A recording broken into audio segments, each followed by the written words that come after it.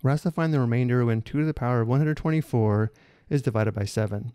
We can answer this question using congruence by finding the smallest positive x, such that x is congruent to 2 to the power of 124 mod 7. Because the number is expressed as a power of 2, let's begin by determining congruences for powers of 2 mod 7. We begin with 2 to the first. 2 to the first is congruent to 2 mod 7, because when 2 to the first or 2 is divided by 7, the remainder is 2. 2 to the second is congruent to 4 mod 7, since 2 squared of 4 has a remainder of 4 when divided by 7. Next we have 2 cubed, or 8. 2 cubed, or 8, is congruent to 1 mod 7, since 2 cubed, or 8, has a remainder of 1 when divided by 7. And this is good news. This indicates every factor of 2 cubed in 2 to the power of 124 can be replaced with 1, which means for the next step, we need to express 2 to the power of 124 using factors of 2 cubed. To do this, we'll use the exponent property a to the power of m to the power of n is equal to a to the power of m times n, where m is equal to 3.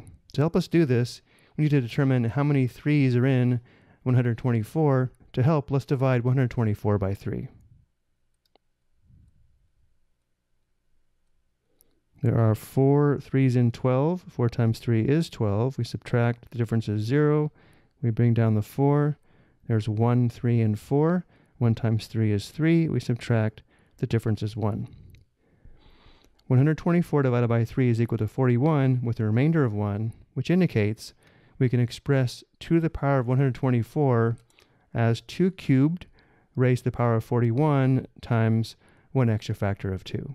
Notice the 41 is the quotient, and because we have a remainder of 1, we have 1 extra factor of 2.